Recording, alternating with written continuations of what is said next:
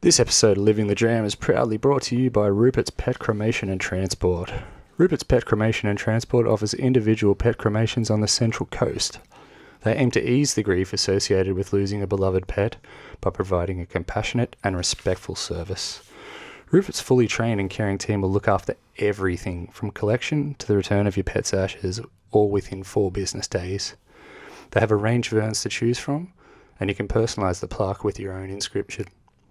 Furthermore, each cremation package comes with a free memorial box with a range of keepsakes.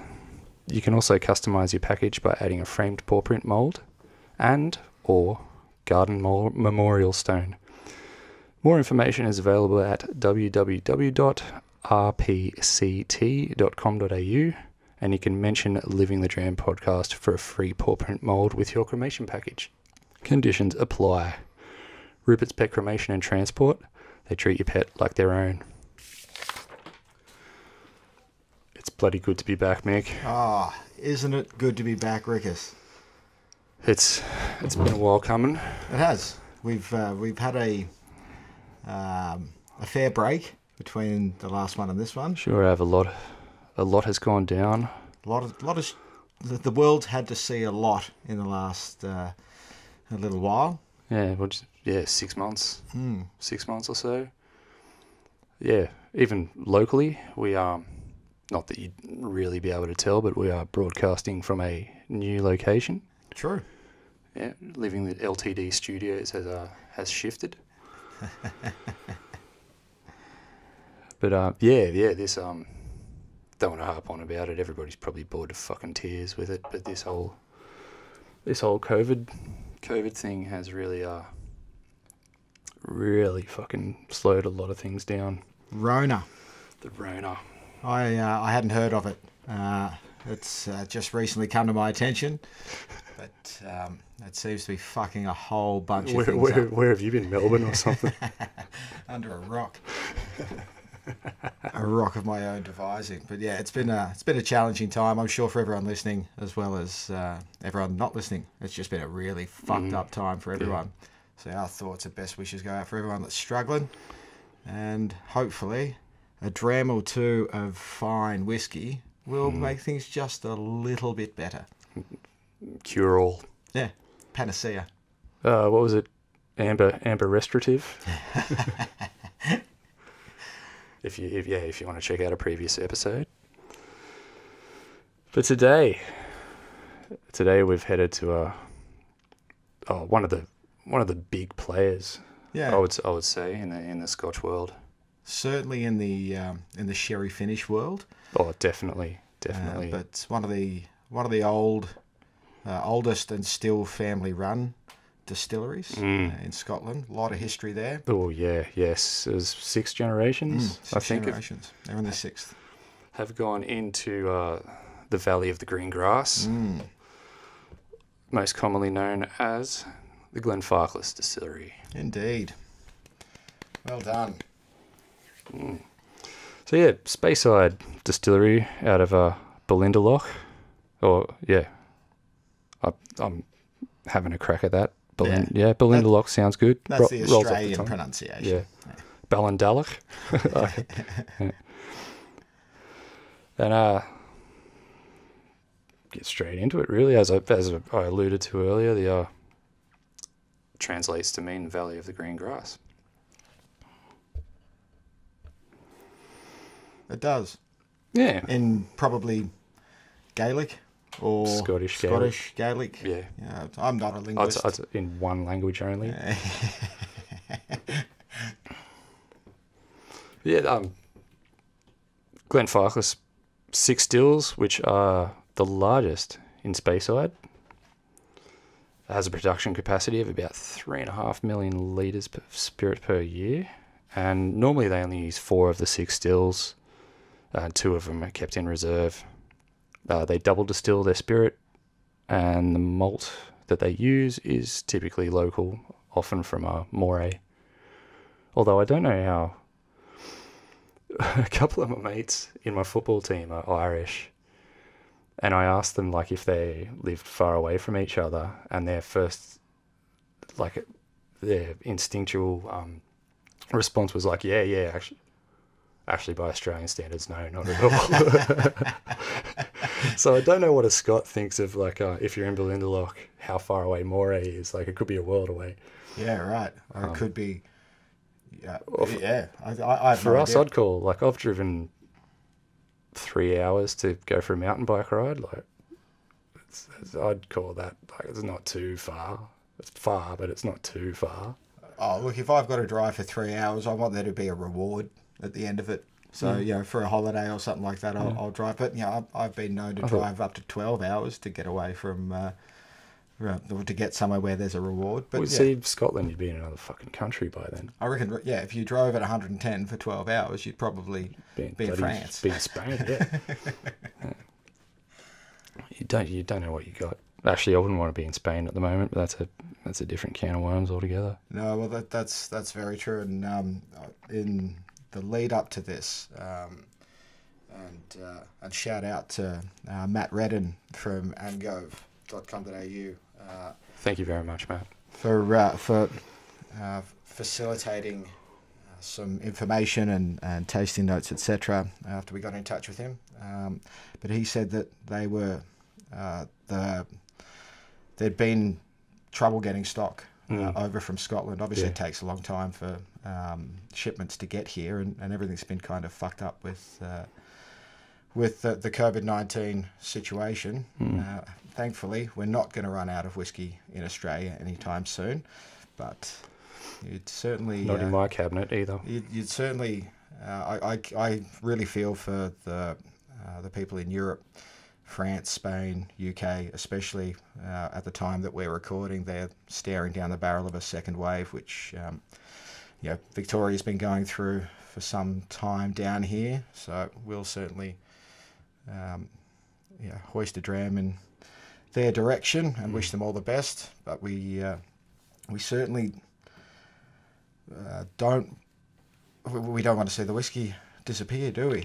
No, So no. get your shit together, people. I think I alluded to in the in the previous episode that yeah, a lot of the um a lot of the distilleries have have really wound things back, Mm. which is, is getting a, a little bit scary. Mm. Getting I a little a little bit scary. We'll see that. We'll see the impact of that in a couple of years' time. You know, we haven't seen Mm. Yeah, it yet. yeah, exactly. will. It'll come down Exactly. uh, down the line a little bit. We'll see the impacts of of what's going on. Mm. However, I don't know if Glenfarclas will have too much of a worry. They've got apparently approximately sixty-eight thousand casks maturing on site. Just a couple. Yeah, just a couple.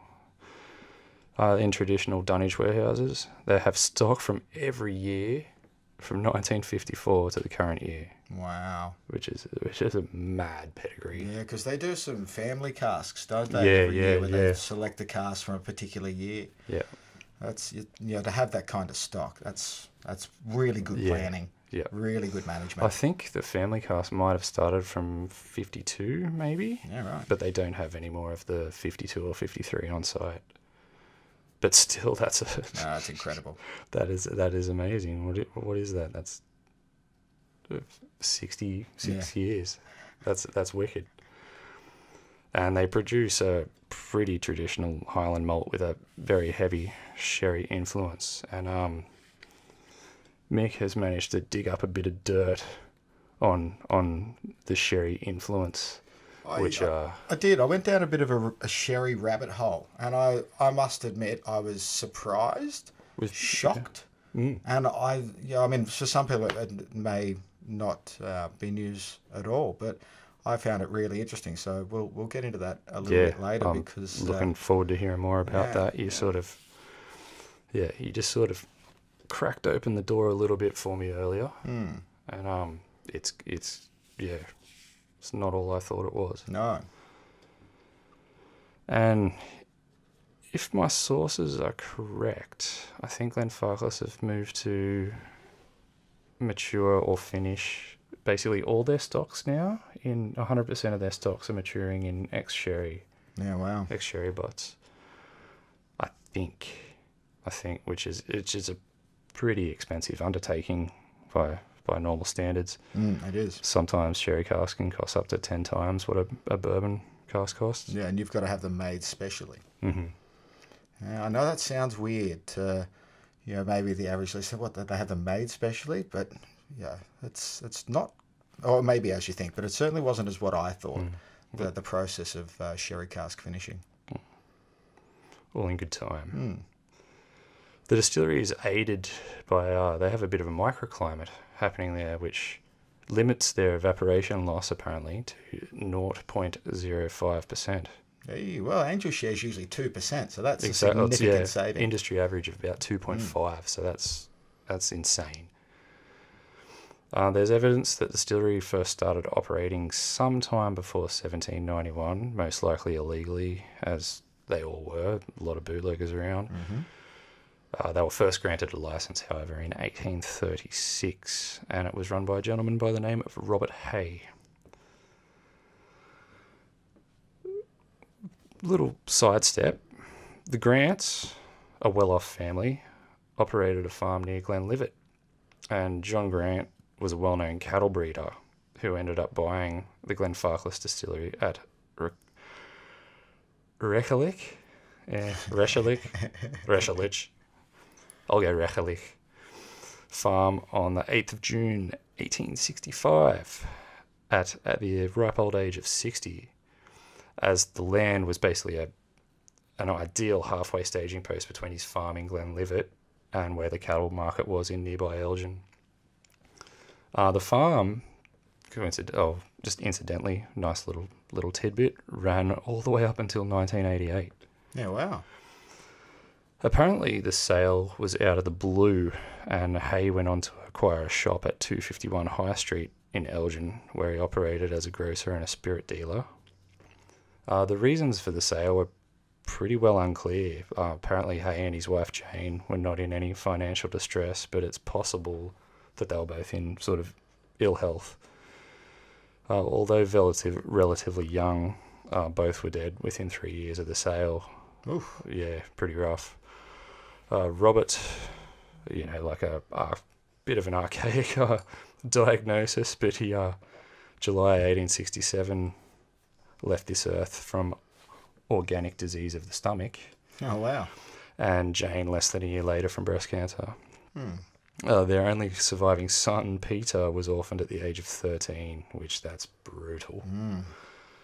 And that's uh, in 1871, when Peter was 16, um, he was recorded in, as lodging in the house of his uncle, who was a woodcutter named William Dallas.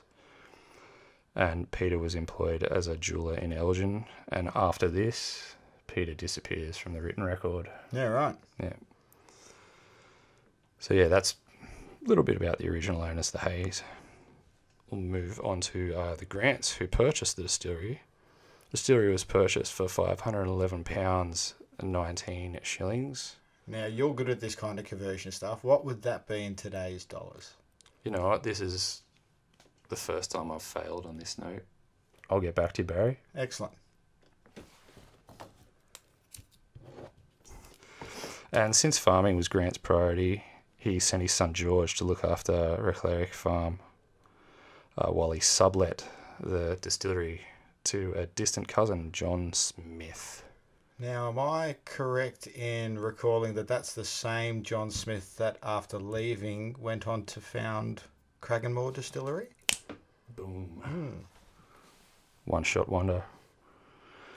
And John took his son George uh, into partnership after John Smith left in 1870. Um, it was also the year that George married Elsie Gordon, and they went on to have five kids. The two eldest sons, John and George. this gets quite confusing. this gets quite, quite confusing. Uh, shortly after John Grant passed away, and he left George to run the distillery and the farm.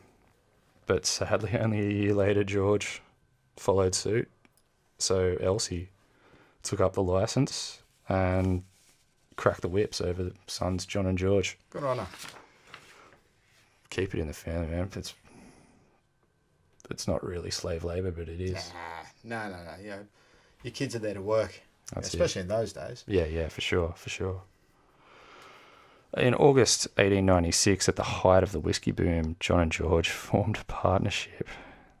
uh, the Glenlivet, Flarkless Glenlivet Distillery Company with the Pattersons of Leith.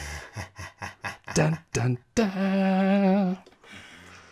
Oh wow, They had a poor f- buggers. Yeah, yeah, they had no idea. Who was to know? though? Well, Who no was one know? was. There's a reason it was called the Patterson crash. So they held a 50% stock. Um, I love, I'm going to quote this. But it was going to prove to be a troublesome partnership. And one, obviously, it dissolved. It left John and George in a bit of a predicament, and it took at least another 15 years. And um, a lot of family commitment to, to basically dig them out of that hole Yep. rebuild uh, financial dis- stability. And I'm guessing it took its toll on John because he retired due to ill health in 1913.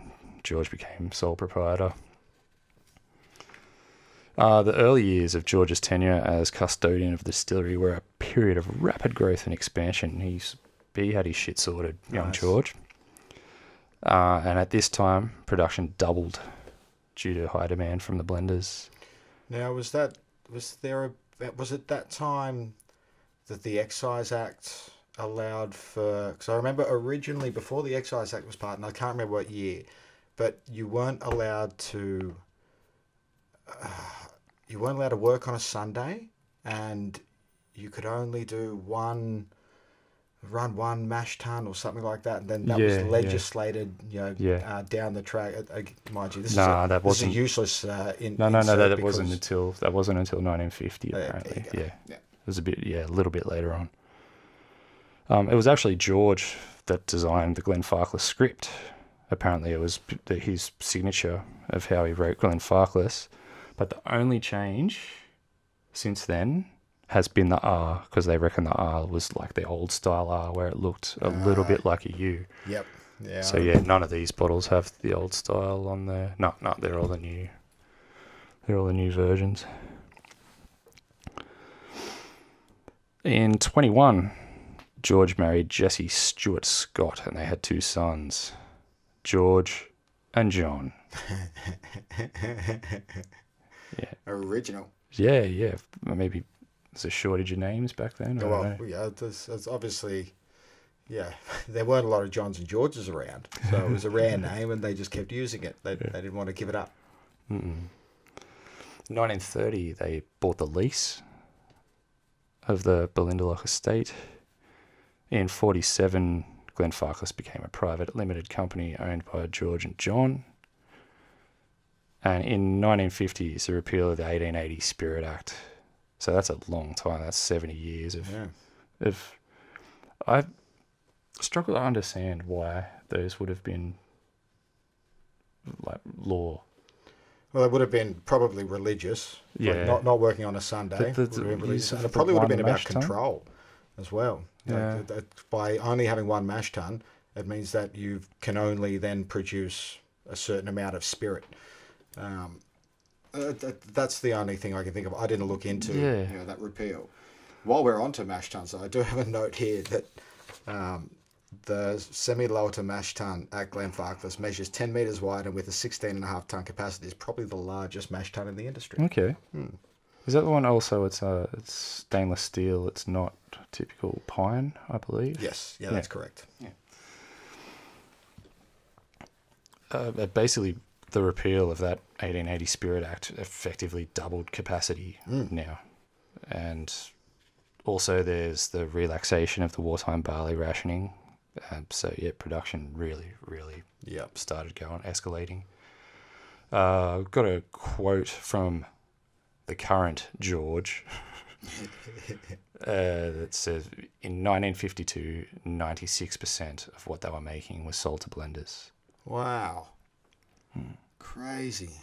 I suppose it was profitable, you know. That's that was the trend at the time. Yeah, but mind you, thankfully they kept enough stock that they were able to age Ah. and have you know stuff still in Well, the tanks. The reason why that they they kept the stock was because in um, the 1960s they lost a major blending contract from Diageo.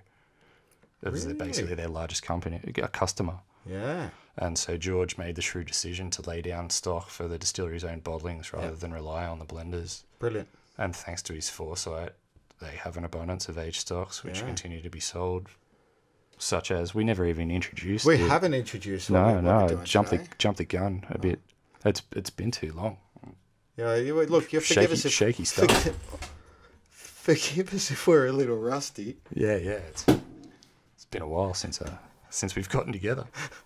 One point five meters. Yeah, so yeah, we're socially distancing.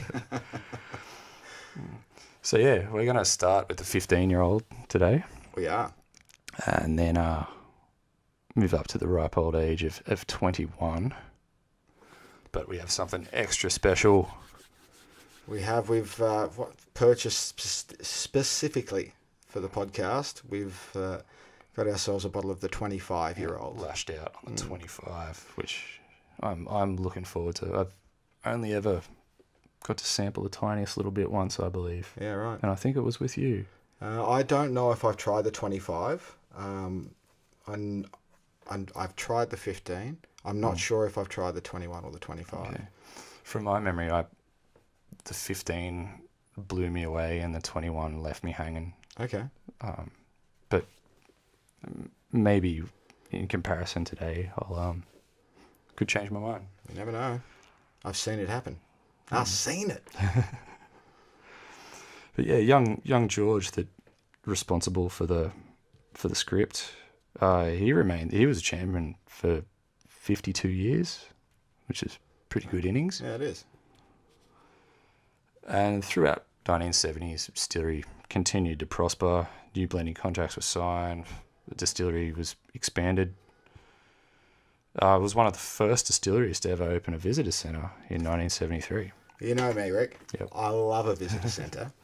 I've, yep, it's on my bucket list. It's on my bucket list. And it's highly recognisable owing to the uh, iconic decommissioned Doig ventilator that now resides at top of the entrance to the building, which that was once used on site um, in the in the on-site floor maltings Yeah. until they ceased floor malting That's- in '72. That's what I, I thought. I'd read that that they, um, yeah, that was they originally did maltings on site, Mm. and that's what why it adorns their visitor centre very impressively because they don't do in-house maltings. Mm. Yeah, anymore. it's got a really um, uh, it's got a really iconic sort of Asian style look about it, like sort of a Chinese architecture. But you might remember the uh,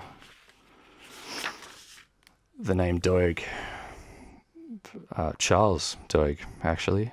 that rings a bell. Yeah, well, it should because he was also responsible for Ardbeg, Balblair, Caol Ila, Dufftown, Highland Park, Laphroaig, uh, Pulteney, Speyburn, Talisker, and Aberlour. Did this dude just build distilleries and that's all he did? He was an architect, yeah. Yeah. he just designed. What a that's Absolute ninja. that is a hell of a resume, isn't it? Mhm. What a pedigree. Wow.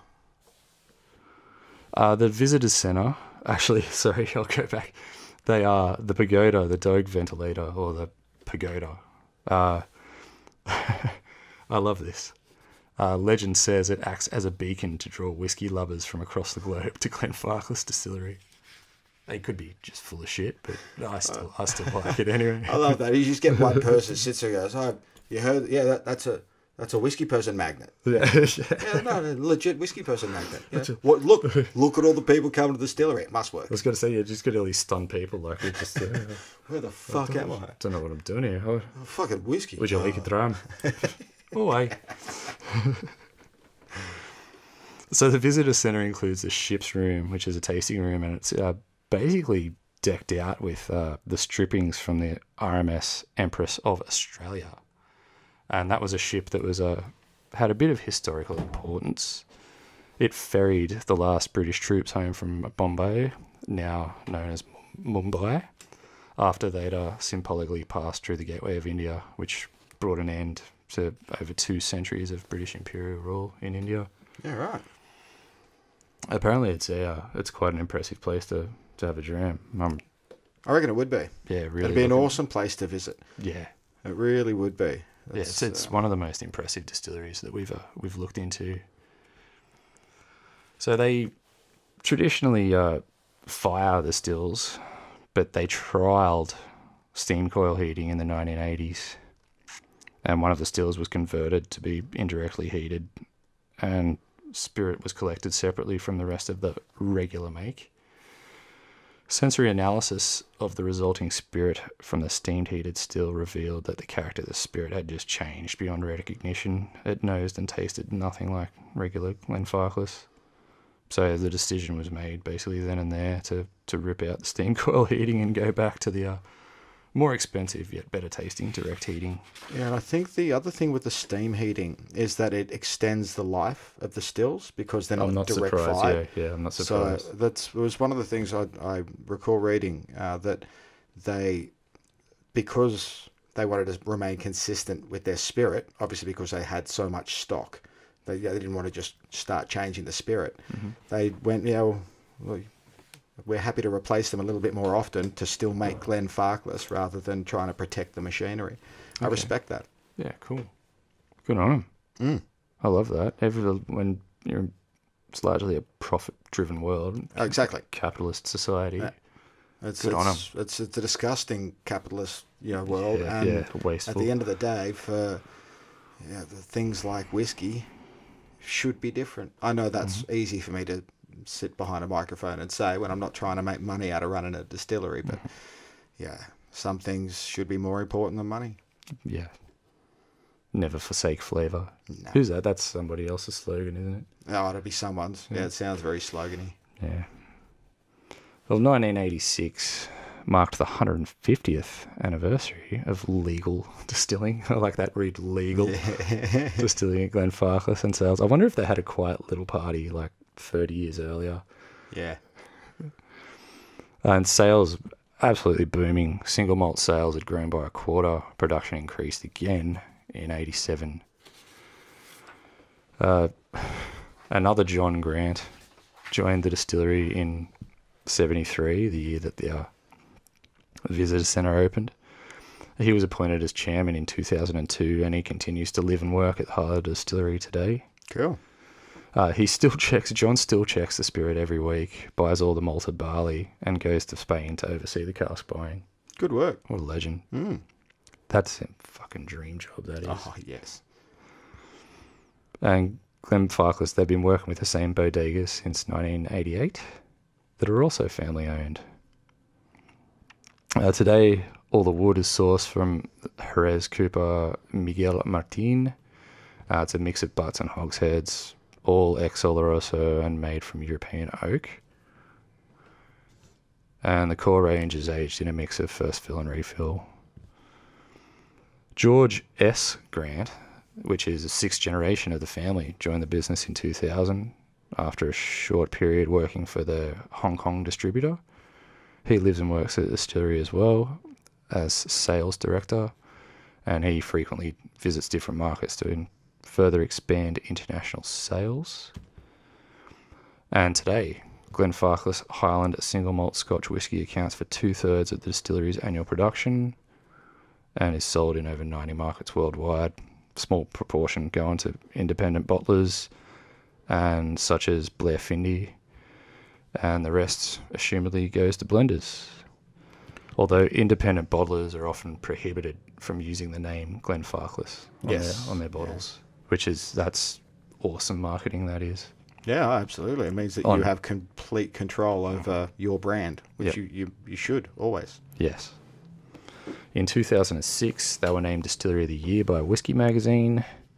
And in 2007, they launched the Family Casks, which is a collection of 43 single cask bottlings, with one from every year from 1952 to 94.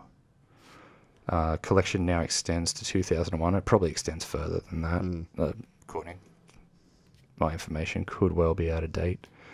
But yeah, as I said earlier, they no longer have stock from 52 or 53. Fuck, I'd love to taste that. In 2008, the company began sponsoring horse racing with the Glenfarclas Cross Country Handicap Chase at Cheltenham. I wonder if they bought stakes in a stock in a dog food company as well. Those fucking cross country races for oh, horses it's- are it's so especially, brutal. Especially the steeple chases, man, when they've when they've got to jump So- over so you know, brutal. twelve jumps over three kilometers. Like, oh yeah, yeah, no, it sounds like fun. Surprised more jockeys don't die, let alone horses. Yeah, look, I mean, it- over there, I, I don't like. I mean, if it happened here, like, there, there's no steeplechasing in Australia anymore. like, there's yeah, there's yeah, none. yeah. The, the people got so up in arms about it because, you know, for fairly reasonable reasons, d- you know, yeah. that's, uh, that's it's not great for horses having people on their back running as fast as they can, jumping over things. Yeah, not great. Mm, Not great for anyone involved, except for. Yeah. And look, don't get me wrong. Yeah, I'm not a teetotaler. I enjoy the racing industry, and, and I have the the odd punt, but. Uh, Yeah. Hey, there's there's something something different about a 1200 meter race where you're just going straight with a jockey on your back, and a 3000 meter race where you're going around like this, having to jump over things. Yeah. A lot of horses tend to get hurt. What is it? The steeplechase, like in like marathon, like just people. That's fucking carnage enough. Yeah. Without throwing a horse in. Yeah, you're not wrong. Yeah, good God. Uh, in January 2011, Glenfarclas released a limited edition bottling to mark the distillery's 175th anniversary. The 40 year old 46% expression was named Scotch Whisky Single Malt of the Year in the 17th Annual Malt Advocate Whisky Awards. In June 2015, they released number, another limited edition bottling called the 511 pounds 19 shillings uh, family reserve, and it was launched to mark the 150 years of the Grant family owning the distillery. The name of the bottling, if you remember back to about half an hour ago, refers to the of- price that he paid for the distillery in 1865. And the bottle is sold with a copy of the original bill of sale of the distillery. Nice. That's pretty cool. Also in 2015, they released a limited edition line of their 60 year old bottle. Good God. Wow. Yeah. Uh, they confirmed that there were only 360 bottles released globally, and it was cla crafted in a first fill sherry butt. Uh, it was vibrant, full bodied flavour, um, and it's one of the last of the 1953 casks. Oh, that'd taste real smooth, Mm. I reckon. Um, bloody sweet, Mm. I imagine. Yeah, it'd be an utter sherry bomb. Mm. And there's there's the timeline in a nutshell. Lovely. How to I've get got, into this uh, nutshell? Because I fucking put it there. I've got one little um, little note just to, to go with that. Um, so in as you said in 21, George Massey married uh, Jesse Stewart Scott. They had a couple of sons. That was during the Second World War. Well, during the Second World War, they served in the forces. Um, when they were demobbed, their father held a party in Elgin in 1947 to celebrate the distillery's supposed centenary, his silver wedding anniversary, and his son's 21st birthdays, all of which had taken place during the war. At the time, it was thought that the Glenfarclas was established in 1845. Subsequently, it was discovered that it was first licensed in 1936.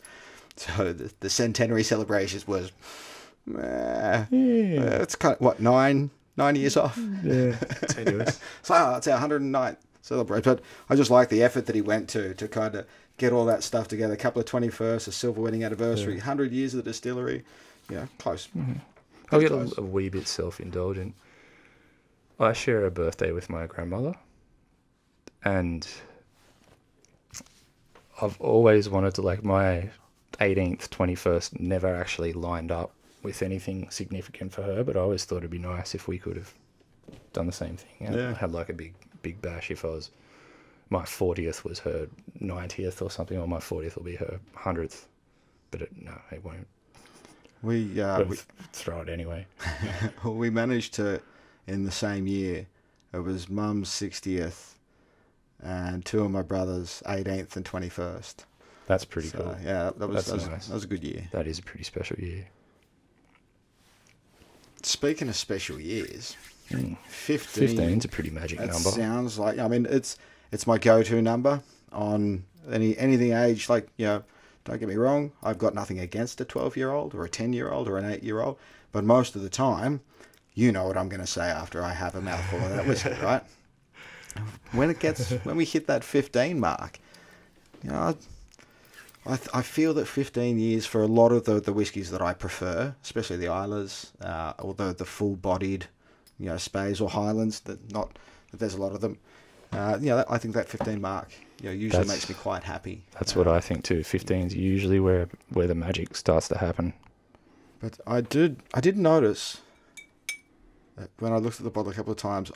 Now it's obviously a Speyside because the distillery is within the region, the Mhm. protected whiskey distilling region Yeah, of Speyside. This, But on their bottle, they call it a Highland single malt. yeah, apparently it's done in a uh, in a Highland style, and I did my best to find out what the fuck makes it a Highland style as opposed to a Speyside exactly, style. because I don't think you know. I mean, sure, some of your Highland distilleries like Glendronach and others produce sherry finish malts, but I Mm. wouldn't say that a sherry finish malt was correlated with a Highland style. no, would no, you? No, not at all.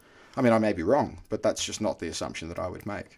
But uh, yeah. So yeah, I'm I'm still confused as to. Yeah, it's on all the bottles. no, it is. Yeah. Yeah. Uh, I'm going this way, aren't I? Yeah, Yeah. we're going from the left. That was for you, Maxi.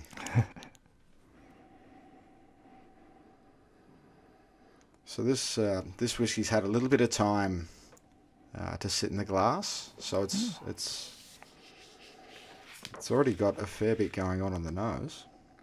And we also, for the first time, we've got official tasting notes from the distillery as well. So we'll go through our stuff as per usual, but we'll read out the tasting notes at the end to see Yeah, if we nice. missed anything and Nice. just to, you know, kind of uh, show the two different If- perspectives there. Yeah, if our taste buds aren't in our asshole. Yeah, well. but straight away, there's a lot of sweetness there. There is. It's really sweet. It's um. It's not terribly smooth on the nose either. Yeah, look, there's um, Wee bit of burn at the at the back end. yeah, there's some spice from the wood that's there. There's a, a little bit of that toasted malt coming through. But you're right, there's a bit of a sting to it. Hmm.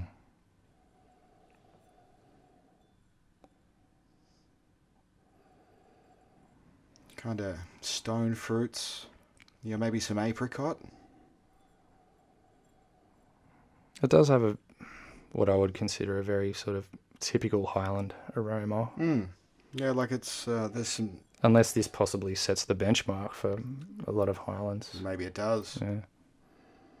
But yeah, this there seems to be, I mean, apricot, maybe something that's something slightly tropical, but I can't put my finger on it.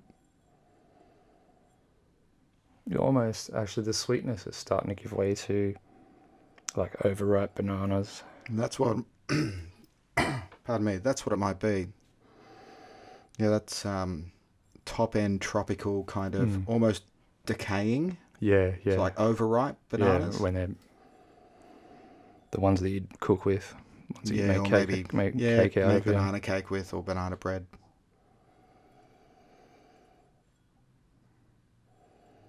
There's something on that not bottom end as well that you know I- is it is it tea That's a lot of okay. I'm getting. I don't know if it's yeah, if it's like your stewed stone fruits or like a plummy, plummy deep bottom end, like almost like a Christmas pudding fruit cakey kind of. yeah i think there's a, a hint of a hint of maybe butterscotch but then again i oh, just Oh yeah, i always yeah. think of butterscotch when i'm thinking about whiskey because i want it to be there so badly no, I think actually, I think that's one of the most accurate things you've said so far. i'd say it smells good in layman's terms yeah good Oh, surprisingly oaky. For all the sweetness that you get on the nose, surprisingly oaky on the palate.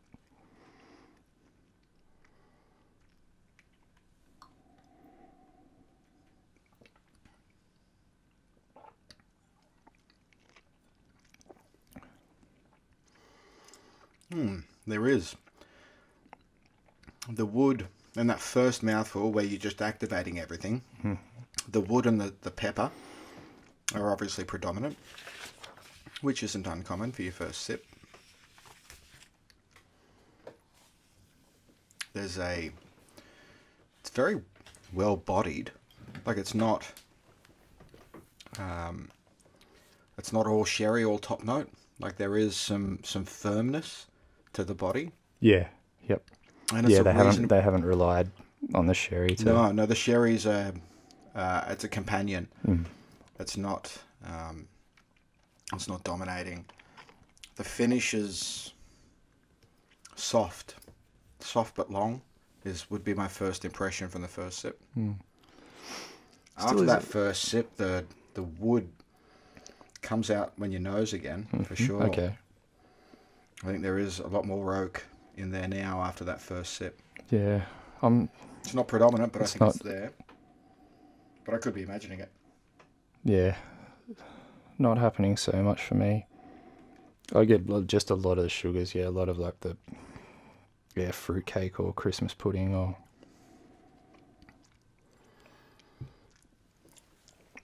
And quite a bit of decent amount of spice. There is a lot of spice for a 15 year old. It's more spice than I expected. Yeah, yeah, same here. Although that third sip just went down an absolute treat, and it um started to expand. The um, I know it's very highly rated. The 15 year old.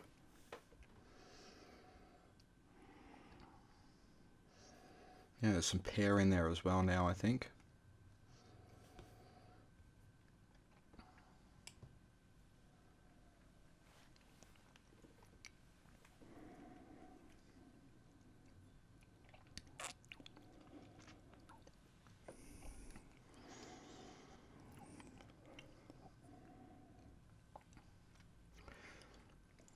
That's quite nice.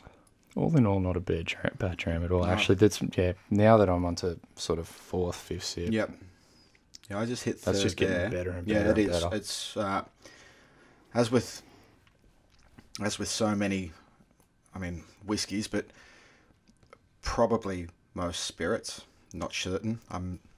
I tend to be a bit of a whiskey drinker. I quite like uh, a good tequila, but I would imagine that in most of this kind of tasting, you you need to activate and wake up a lot of those senses Yeah, in yeah. on those first couple of sips. or sometimes sometimes kill some of them too. and that's the other thing as well. But uh, there's certainly a lot of adjustment. Once you you start to get to those later sips, um, I think you're getting a lot more of what the whiskey has to offer, as opposed to, um, you know, just what your mouth can take, as it were.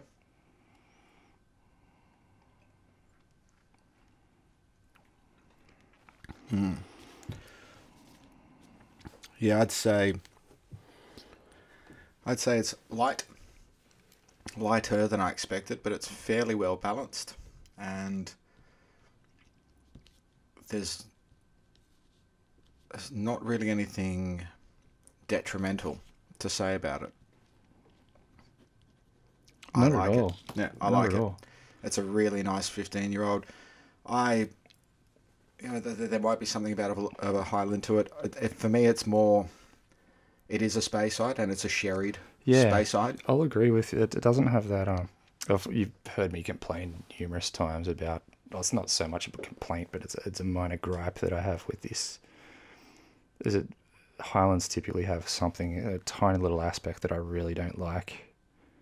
Um, this doesn't seem to have that. No, no, I, I agree. In, in fact, it's probably what I was alluding to. Um, that that's what I, whatever it is, and I think we both struggle to identify it effectively. We just know that it's there. Actually, speaking of um, sidestep for a moment, so struggling to identify something.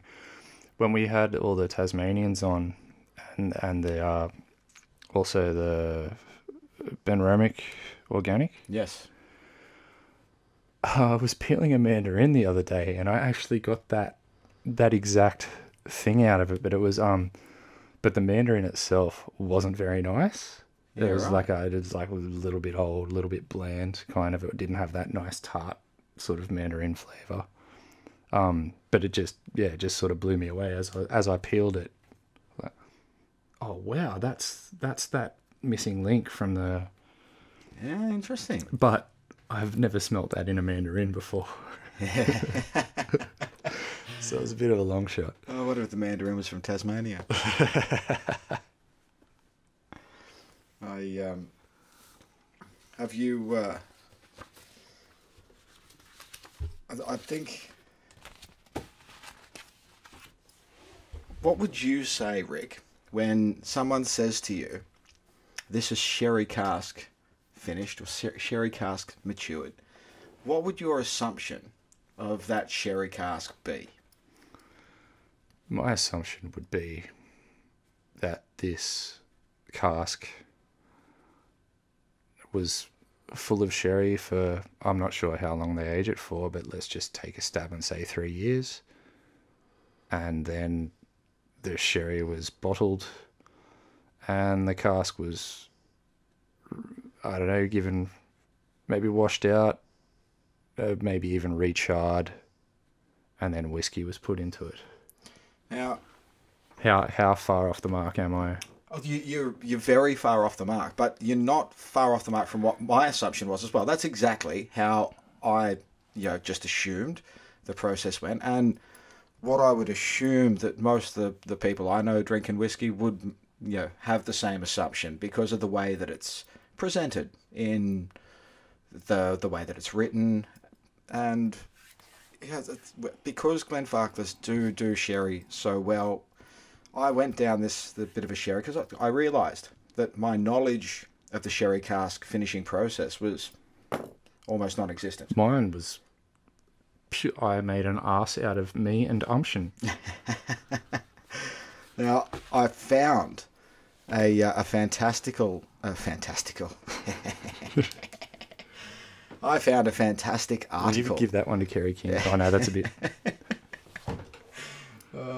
But I did. I found a fantastic article online, which we'll link to in the show notes because I, I, it's really well written. It's really well researched. I'm not going to go through the whole thing, but I've highlighted a lot of parts. I'm going to try and keep it as concise as possible because there's a lot of information here, um, and they're, they're just notes. But we'll link to it and shout out to uh, Ruben Luton, Maybe Lighton. maybe Lighton. If that's like Guy, then it'd be Yeah. So Lighton. Uh, so shout out to Ruben Luyten, and for a, for a, an article that changed the way that I saw things. But there's some good visuals in there as well. But the uh, what we think of so sherry isn't aged the way whiskey is, right? So with whiskey, you stick the spirit in the barrel. The barrel sits there for a number of years without being touched, depending on how long you're aging it for. And then every now and then you take a little bit of the spirit out to see where it is, Sample, yeah. you know When it's hit that goes. sweet spot. Now with sherry, it's actually aged in a it's called a solera solera, but it's a system of fractional blending. So casks Well, uh, we alluded to that in um, the I think the first episode. cask, yeah, yeah, yeah. Um, so uh, Solera has two meanings, the same word, two meanings in this situation. It is both the system of fractional blending. Uh, the the groups are called criaderas or nurseries. I'm assuming that criaderas is nurseries in Spanish, but it's basically four rows of um, cast. The bottom cast being the oldest are called Solera, and that that's the the cast where the the well, bottled sherry Solera comes from. literally translates, I believe, to on the ground. Yeah. Yeah. So it's the bottom the bottom row. But so you've got four levels of groups of barrels that all have wine the same age in them. Mm-hmm. And you only take wine the, the sherry out of the bottom cask. You can only ever take up to a 3rd mm-hmm. Right? So that the bottles are never empty. And you top up the third that you've taken out of the bottom with the one above it and so forth until you're putting new wine into the top one again. So you've got this fractional blending thing that's very, very different to um, the way that we age whiskey. So effectively, these you know barrels they can be used for up to 200 years. Yeah, so right. they don't get Okay. sold. So these aren't the casks that go to mature sherry. Now, What? So to you mean to mature to uh, sherry mature exactly, whiskey? yeah. So they, these casks only mature Right. sherry. They never have whiskey in them, and they are worth an absolute fortune they would be. because of the way that these Soleras work in underground places. They a lot of them use natural yeasts that so the the barrels themselves need to be very um, like it's a very time consuming process to get them seasoned so that the wine stays consistent. So the the barrels in a Solera are never they're, ne- they're never taken away from the bodegas. So what happened in I'm going to go um, there's a whole lot of information here. If you're interested in the actual aging of the the sherry itself it's really fascinating and we will put it on the show notes so you can have a look. But uh, we won't I'll just you know mention things as we go along. But so until the late 19th century sherry was sold by the barrel right? So you would in Spain they would send a barrel over to England, which was one of the main importers of sherry, and that barrel would go around to pubs and clubs and they'd draw off, and you'd be able to, this is in the old days, you'd be able to draw off a measure from a barrel, mm-hmm. right? Then as production went up and up and up, you'd get these, all the bottling happened in England. So you'd still have the casks would get shipped from Spain and they'd be bottled in England and it cost too much to send the empty casks back. Mm-hmm. Now these were called transport casks. So they were a little mm-hmm. bit different size, a little bit different thickness, mm-hmm. and they would be effectively neutralized. Right, they didn't age the sherry. The sherries came out of those bodega, Okay, those yeah. Solera systems in the bodegas, and they were put in these neutralized uh, barrels. Okay, so there were the, none of the tannins went into the Exactly. So yeah. they, they were trying. They tried to neutralize the barrel so that it didn't affect the wine that was already were there. sh- the original sherry casks were they charred as well? Yes. Yeah, Yep, yep. Okay. So charred, but then neutralized. Okay. Um, so these, you'd effectively have these new charred casks Mm-hmm. that were meant for traveling, and they'd have all this mature sherry in it. Yep. So sherry that had been matured in the the The Solera. and then you'd go over there, all the bottling would happen, and then the cars wouldn't get sent back. So the whiskey you know, producers would buy them. Oh, beauty, a barrel that's had whiskey in it. So that barrel, even though it didn't have the sherry in it aging, it would have soaked up about a dozen litres, they Mm-hmm. Yeah, reckon. yeah. The wood would have soaked up about a dozen litres. So that's that was where it happened. Well, that was how it happened How it started. Yeah. until like the early 80s. And in the early Right. 80s, uh, sherry was the, I think it was Spain. Yeah, 86 onward, Spanish law dictated that all of its wines had to be bottled in Spain. So that completely killed that industry. Now, the Scotch whiskey makers knew that was going to happen, so they'd already Okay. experimented with a couple of things. Uh, one of the things they did was they got a a dense wine that consists of Pedro Jimenez, to which a syrup is added, and then boiled down to make it sticky sweet. A liter of it was concentrated, so it was basically concentrated wow. sherry. They pour a liter into the cask and then use pressure to try and force, Force that into the all wood. the way around the. Okay. Yeah. After a few years later, they realised that the results weren't acceptable, so they stopped doing it. The other alternative was trying to reproduce the profile of a transportation cask. So, yeah, uh, basically, a dude called William Philip Lowrie, Lowrie, Mark Larry. Uh, was a Glasgow whiskey blender that also operated as a sherry agent. So they say he was the first one that um, basically came up with the idea of seasoning new casks with sherry and calling it a sherry finish. Wow. And that's exactly what they do today. So this is, and this was where it kind of got a little bit shocking for me. So um, uh, I'll give you a, a couple of quick quotes. Virtually all the current day sherry casks that go into the whiskey industry are specially seasoned for this purpose. Maturing sherry wines inside them is not an objective whatsoever, and the general idea of sherry cask being reused casks or byproducts of the sherry industry is a false one. Unreal. Yeah, So I've, I've totally duped. yeah, like and and I mean, yeah, it's just a transparency thing, really. Like it's I don't know if it's intentional misdirection or if it's just laziness to, or if it they just went, you know, what, it doesn't matter. We're just going to call it sherry cask. But I'd never thought it about it before. Sherry cask. But Well, it's- it is, but yeah. so the But I guess, yeah, it's it's two totally different industries, like two totally Yes. different methods of Yes. operation. Yep. So the age, the the casks that we use have not had aged sherry in them at all, and they are not meant for that. They are specifically Mm. yeah. ordered by the distillery to be an ex sherry cask, so that they. The, the distillery will have an agreement with a Spanish uh, which is a cooperage that prepares new oak casks for them. Uh, they'll use either American or European oak. The European's a little bit cheaper, um, because it doesn't have to come from so far, and they use exclusively American oak for the Solera cask because it lasts a lot longer. It leaks less, so it needs less maintenance. Um, but yeah, a new oak cask is compared at the cooperage. It'll be sent to a sherry bodega to be filled with wine, a process called envinado. Distilleries can choose from a range of parameters for the wood, the toasting levels, the age and type of wine that goes in, even the way of storage, upright or laying down. The wine stays in for a period of roughly between six months and two and a half years. One to two years seems to be an industry standard. When the seasoning is finished, the wine is taken out and reused. After a few seasoning runs, it will be discarded. The wine can't legally be sold as sherry, and it's not suited for consumption anyway. It's usually turned into vinegar. So every single oh, sherry cask is purpose made. So it's a new cask that's had sherry in it for oh, up to two years, and then it's sent over. They leave, so they put a dozen liters of sherry in there to, No to season it. They send it over with that liquid in it, and then they have to pour it out when it gets over to Scotland because they don't want the barrel to dry out, and they can't have any additives. So the bottle, the it, it's it's just very different to what I assumed That's- that it was. Yeah, I had no idea. It's uh, so no idea. the the basic um, the, the, you could argue because a lot of people older whiskey lovers say that older sherry casks used to be better and you know maybe they were.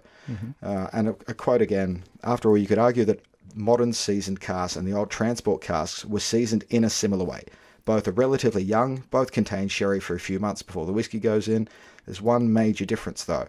In the old days the transport casks were fed with mature whiskey. These days the you know whiskey there's there's actually an image in the article of the sherry in the glass for barrels that are currently being aged for a distillery at the moment and it's almost clear because it's so Unreal. young it's almost like you you wouldn't be able to tell that was sherry technically it is as long as it's been grown uh, they've been made in oh that's that's another little thing but a little interesting side bit but yeah it's it's just very very very different to what I thought it was Same here. so you've yeah. because the the other thing as well, and I, I didn't say know you, this. you haven't blown my mind. You've just opened opened it right up. It's it's quite interesting. But the um, I, an, another thing that I discovered in this little wormhole is that, uh, like champagne, you can't just call any, you know, um, any sherry sherry. Sherry has to be grown in. Uh, I've got it here. The name sherry is a protected designation of origin under the European law. Only wines coming from a specific region can be called sherry, and that the, that region is the triangle between the cities of Jerez de la Frontera, El Puerto de Santa Maria, and Sanlúcar de Barrameda. Uh, so, if it's from outside of there, it legally cannot be Cannot called be sherry. sherry. So, Unreal. and this is the tie into Glenfarclas. In 2014, Glenfarclas presented a 1966 Fino expression.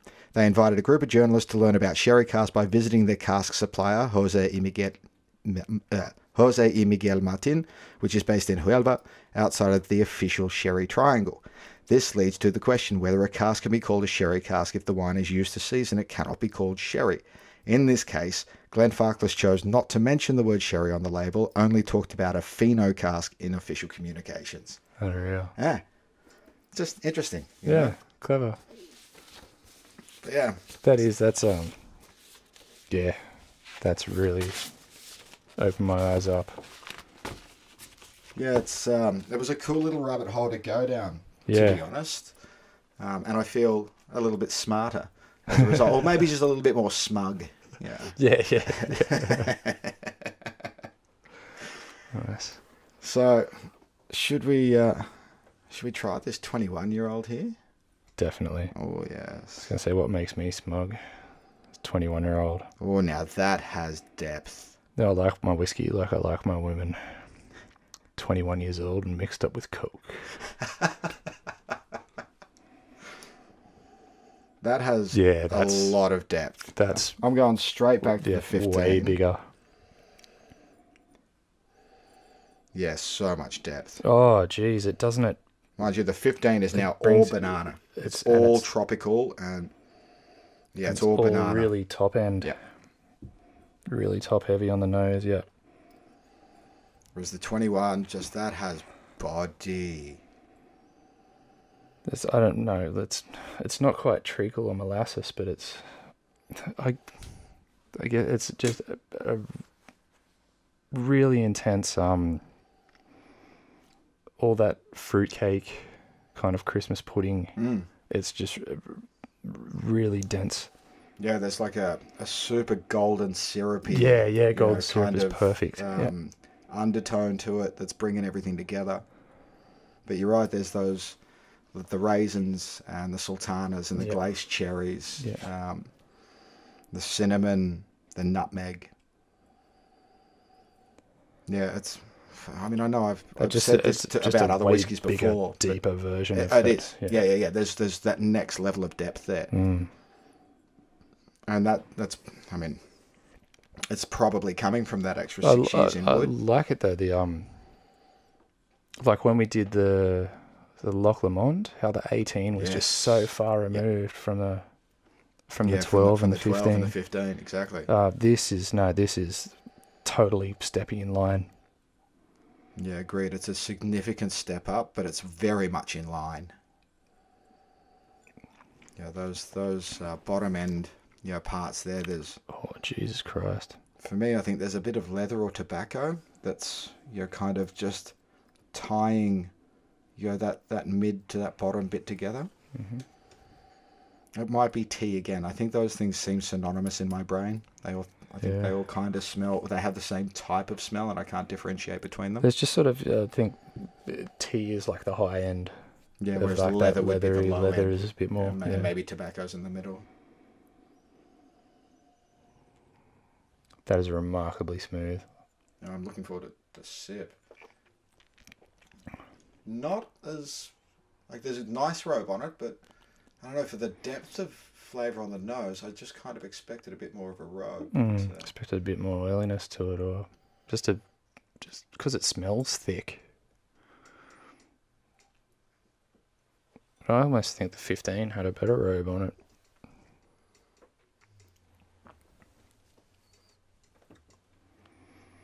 But if I Oh. was to, wow, that first sip. Yeah, you're right. I think the 15 does have a better robe. That first sip is so deep. They're Pretty so amazing. smooth. There's none of that pepper. that no, not at all, not at all. None. Just went straight down. It just it, it's you're right. It's not as oily as I expected it, but it coats the tongue as though it's oily. You know, it it, it Mm, it's like it's clinging to my taste buds Yeah. because it loves them, and my taste buds spread. love it. spreads really well. Again, good body to it. Like it is. It's it's a really well bodied, well balanced dram, and the finish on this is long Yeah, and silky, velvety almost. It's thicker than silk, but mhm. it's super fucking smooth.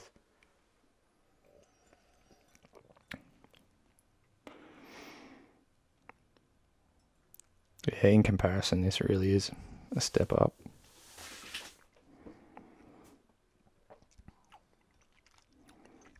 The few times I've had it stand alone, I wasn't, I wasn't so impressed with it. There's a hint of smoke to it as well. Not peat smoke, but you know, there's just a delicate a delicate smoky flavour underpinning it. And that might be from the char of the barrels. I don't think I, I don't um, taste any peat in there at all. No, and you know this is kind of there's some stewed pears. Like it's it's not as you know like it's a little sweeter and a little lighter than that stewed stone fruit from from uh, the 15 yeah, the 15's gone turned into banana bubblegum now Yeah, for me really has, in, in comparison. just smelling it it's Yep. pure banana. Pure candy banana This is this is so much more decadent, smells thicker, smells not meatier, but like the metaphoric meatier. Like Yeah, way so more much body, deeper, way yeah. more substance It to really it. Way more- There's- there's a it, has, of- it has balls. Yeah. I like balls. a lot of bottom end but again beautifully balanced Mm, This is a fucking exceptional whiskey. This Yeah. is tops. Jesus Christ. hopefully, hopefully we're headed the right direction from here. Although I've noticed the 15's at 46% and uh, the 21 and the 25 are both at 43. Yeah, right. I wonder if. No, look, three and a half percent. I mean, yeah, they're they're aiming to yeah, kind of hit consistency, aren't they? So, Yeah. And yeah, I've been arrogant enough to question people's bottling fucking strengths before, and I shall do it no more. No more. No, that's Like the 15 is nice. This is, Jesus Christ, this is bloody great. 15's entry level. Yeah, 15's something that. Yeah, 15's probably where I would start. Although I do have a 10 that it really isn't that bad as a standalone. It's um, Look, it- it's pretty wouldn't be. pretty good. But this 15's, yeah, where the magic starts. Yeah, like these This days- 21 is where it gets fucking, yeah, exceptional. That's a fantastic whiskey. Mhm. The 21. It is a genuinely fantastic Yeah. whiskey. God, that is going down Mm. so smooth. Yeah, you could fucking you could get through half a bottle of that real quick. Mm-hmm.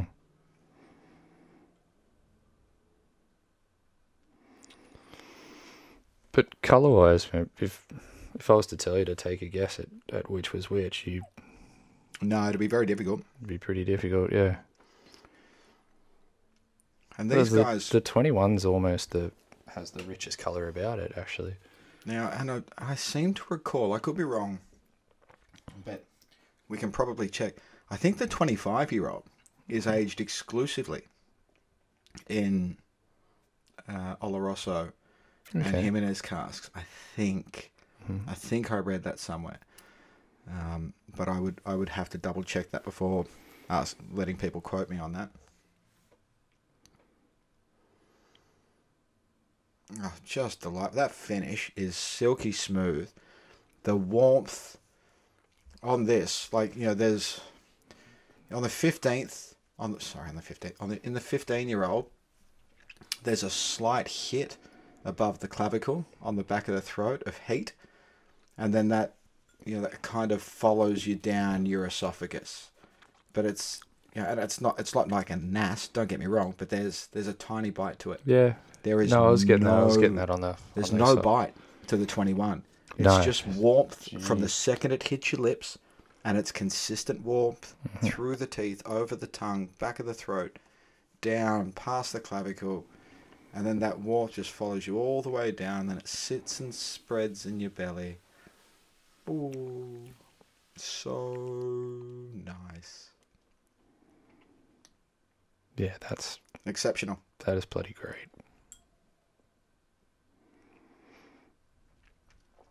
Ah, well, But it is for me. It is also Speyside Distillery distilling in what they call the Highland style. Yeah, It really does sort of fit right in the middle, kind Yes. of think. Yep. Yeah, really does fit quite it fi- right in the middle of those two. Yeah, I agree. I agree. I think it's a really good Speyside or a really, really good Highland. Mm-hmm. Yeah, yeah, you're right. Although something, it doesn't seem as um.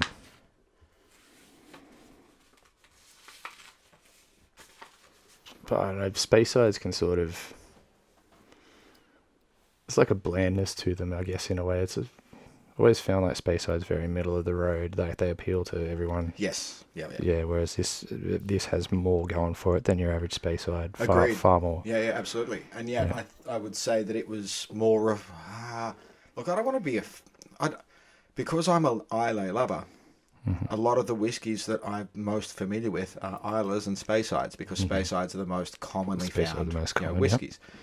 So, yeah, I I want to say I, I almost said it tastes more refined than a Highland whiskey, but I don't think that'd be fair because I don't think my sample size is, is high enough. But it's it feels to me like a refined Speyside. Yeah. Yeah, and and as and it, it lacks the. I mean, I think we've done what two or three Highlands Mhm. over the podcast so far, and you know, I would say I wouldn't call this a Highland for the same thing that we mentioned before that the lack of whatever that thing is that we identify for, for Yeah. Highland malts. This is lacking that. I'd say it was an exceptional Speyside. Yeah, yeah. Um, But it is a sort of. I know we've been saying like it's so it's so thick, like sugary, a lot of sort of yeah golden syrup and raisins, and it seems to be on the lighter end of Speysides though. I kind of think, in Yep. a way, yeah. Yeah, look, the, That's where that's where I'm like it's got that how a lot of Highlands have that yeah that heather honey kind of thing Yep. going for it. This is where that sort of leans towards. It doesn't have that um as much substance as some of your Speysides do. Yep. Yeah. Yeah, and like so, whereas a Glendronach sherry is a full blown sherry Mhm. bomb, Yeah. right? Because That you've got you've got those heather honey floral notes of a, of a you know typical Highland that then the the sherry just rides on you know like an amazing Mm. surfer and just you know kind of carves up in your mouth and it's just it's electric. Yeah. Yes. This is a little bit Certainly more uh, understated. Yeah. It's not a little bit quite more as, refined, yeah, maybe. Yeah. It's not quite as, as much of a sherry bomb, but it's got all those beautiful Mm. um, influences. Mhm. But they're just a little bit, yeah, a little bit more understated, a little bit more refined.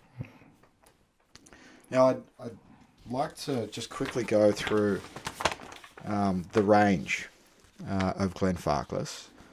Um, uh, or at least, you know, the the range I've got in front of me here.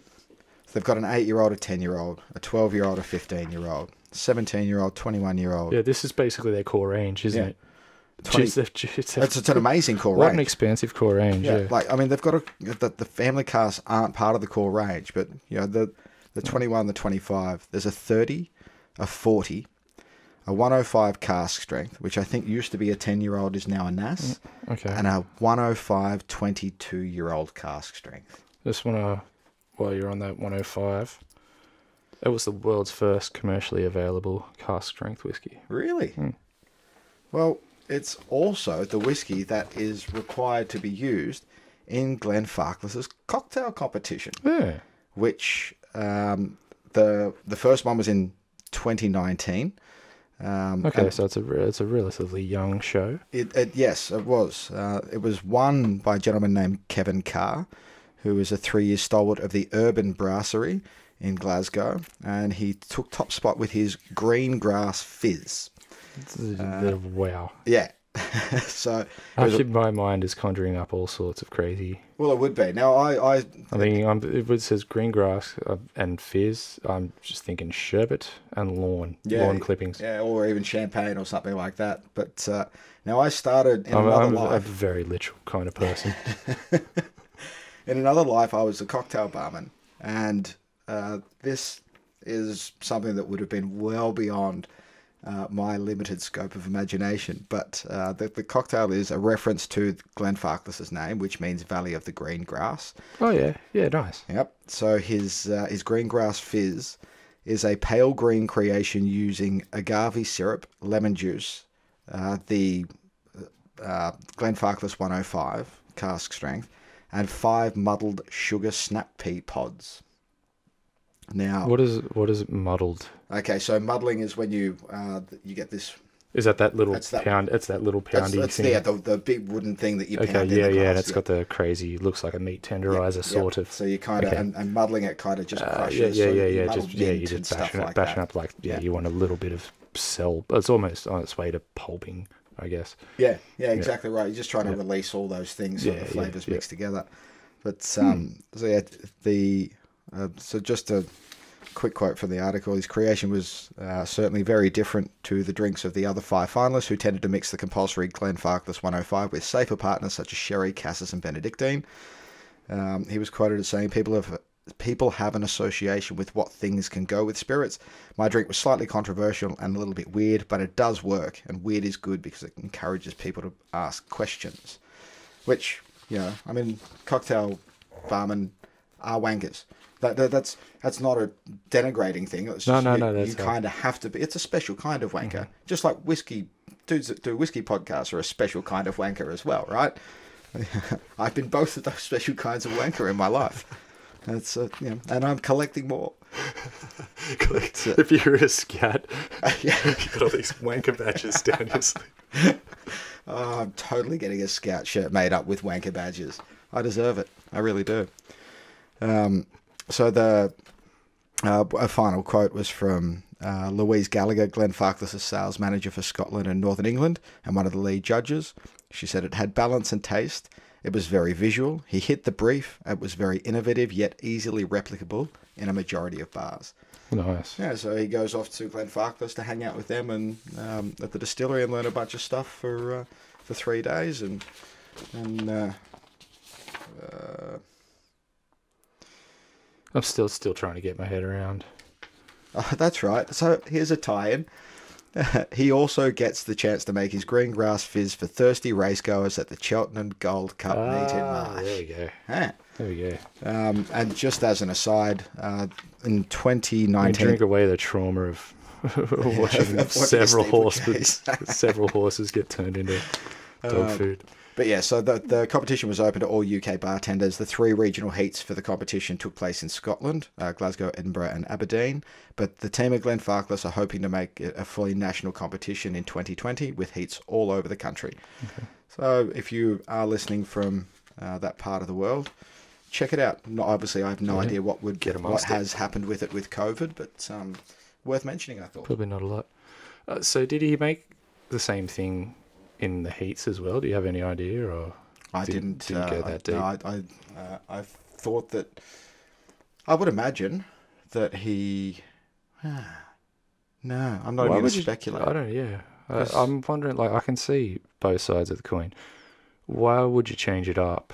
But you might want to kind of keep it fresh. you know, Yeah. and just show your diversity. But it did say that because he, the first idea he had was to go with the color of green because of the whole Valley of the Green Grass thing. So apparently he started experimenting. The original experiment was with uh, seaweed, but that didn't work. Yeah. Yeah, yeah. It's I've never used seaweed in a cocktail, but um, yeah, Hmm. I didn't do it. It doesn't go enough. too bad in one of those rice crackers. Yeah, true. Salt. I could also see uh, seaweed would um, an Islay would probably work a lot better Oh yeah. with. Yeah, yeah, yeah. Well, one of my so I, I've probably the best cocktail I've had in the last ten years. Might be the only, yeah, kind of fancy cocktail I've had in the last um, ten or fifteen years. But I went on a date, a Tinder date, with a, a, a nice girl. We went and had dumplings in a little bar, and then were recommended as that bar was shutting down. We were still having a good time, so we thought we might kick on for another drink. And the staff went, "We'll go to this cocktail place down the road." Now I'd had a few, so I don't remember the name of the cocktail place. So I've only ever been there this one time What suburb? in sit in the city. So it was around Oh, okay. Yiddish, I think. Yeah. But uh, the cocktail that I had was had a measure of Talisker, ten year old in it. It had, uh, I think it was banana liqueur. There was something else. It might have been curacao, uh, so Mhm. orange liqueur. It was topped up with something I don't remember. It may have been pineapple juice, but don't quote me on that. And it was garnished with a candy banana, and it was one of the most incredible things I've ever Do you drank. mean not one of those lolly bananas? Yeah, little candy banana. That was Yeah, the okay. garnish. Yeah. yeah, right. It was a cool cocktail. Hmm. I'll be damned. Yeah, you will be. I can see how candy banana and whiskey goes together very well, actually. It, like the the banana liqueur with the whiskey went together really well. The the Yeah, could- candy banana garnish was just cute as fuck, you know. But Mm. it was also delicious because I don't know about you, man, but I reckon my favorite lollies when I was a kid were candy bananas and musk sticks. They were up that there, was, yeah. That was that was They're my kind of flavor profile and texture profile, you know. Mm. I liked them a lot. Oh yeah. But yeah, you're right. That 15 year old is just banana banana bubble gum on the nose. And I was also thinking when you said they use Talisker, I was like, "Oh fuck!" It's You, m- you can improve Talisker by just about pissing in it. So I had a feeling that you, I, I had a feeling that you might sit there and go, "It's about the only use for Talisker apart from whiskey and coke." But yeah, the that's uh, it's real light, the 15 compared to The get 21. The 21's got depth, but now, now we got this This- 25.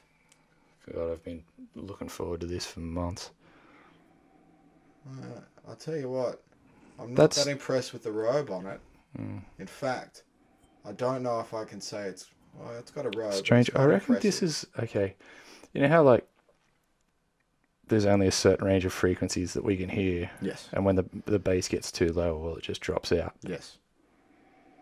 I reckon this is kind of what's happening here. You can sense that it's like it's it's lower and deeper. It really is. That's than the 21, but there's- it? But it's almost like it disappears off your radar. Yep. It is that low and that rich. It really, really is incredibly rich smelling. I'm getting um There is the tiny almost like- hint of that Highland tang Mm-hmm. to this though on the nose. I'm getting like a real rich banana sense from it. Yeah, but it's it's such a, a It's very meaty- tropical. It's such a uh, a really really thick and heavy, like a if a banana molasses or something Yeah. like that. But then, So there is there's, There's- some malt in there as well. So it's almost like a banana loaf mm, um, or a banana cereal.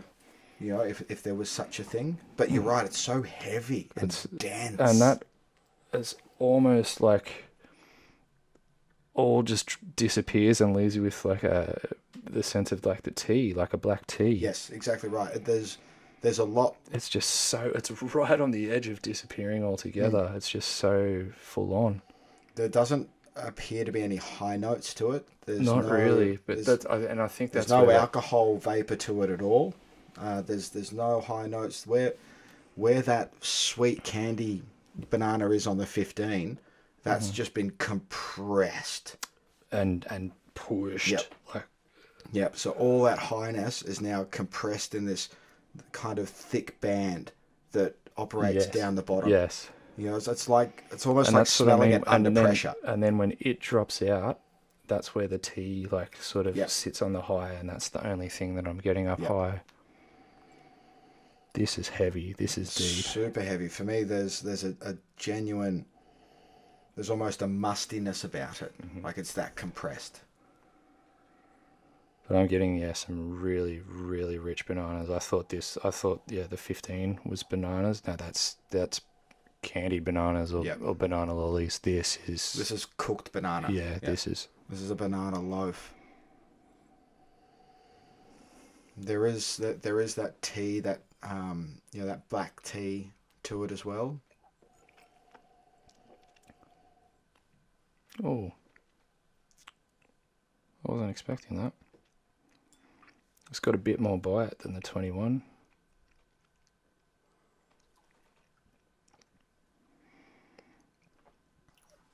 Ooh, I didn't get any pepper from the 21, but just Nor then I, I got some. I got some from this. Significant bite. Hmm. Jeez, what what a round finish.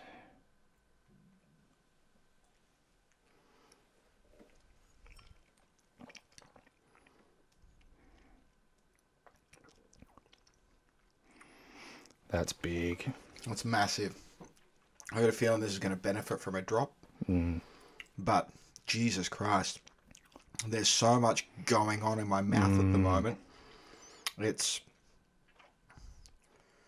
fuck, and Quite what hard to take in. What a finish, though. Like the length of the finish, the way that it fades. The way that it's like I get I, a lot of things sort of give me sh- shapes. Yes. um, and the way this is just pushes down and starts to spread out and sort of backwards. Yes. Yep. Yep. It's heavy. This is proper heavy. It is. It's This is like the doom metal of whiskey. yeah. It really is. You know, it's sludgy. Mm-hmm. You know, it's um. It has characteristics of both the whiskies that came before it. It has the bite of the 15, Yeah. but it has the depth of the 21. Hmm. But it's its own fucking monster. Yeah. That's for sure. And I'm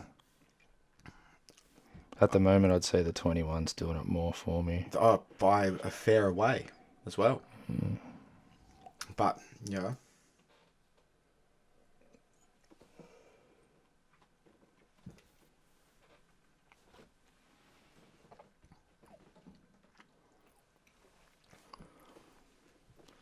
But God, the, the, the amount of flavors in that. it's, it's So much more complex, yeah. It's it's almost overwhelming. I was going to say it's tongue. probably half the reason we've gone so so quiet. It's Yep. that's a lot to process. It really is. I'm finding it difficult to tease out individual Mm-hmm. dominant things. It's, I will say, it's incredibly well balanced for the fact that it, you know, is. Uh, is is it incredibly well balanced, or is it slightly confused, Rick, It's it's. or is it both? Uh, I don't know. I'm going to nickname this one Splinters because it is sitting perfectly on that fence. Yep. That's yeah. It's a lot to process. It really is. I mean, uh, don't get me wrong. That's uh, that's a really impressive dram Um, whiskey. Let's see, what did Camo say in when we did the Glendronach and he said that he did the Glendronach tasting and I think it was a Glendronach 18 that he was talking about the tasting that he went to Mm-hmm. and he said this is the sort of whiskey you'd have on a date because every sip you just keep getting more and more out of it. Yeah. Yeah, this is doing exactly that for mine. Oh, every sip is a new perspective Yeah. on this because there's so much going on in there. like this is um geez, you could explore this for for days. Oh yeah, you really could.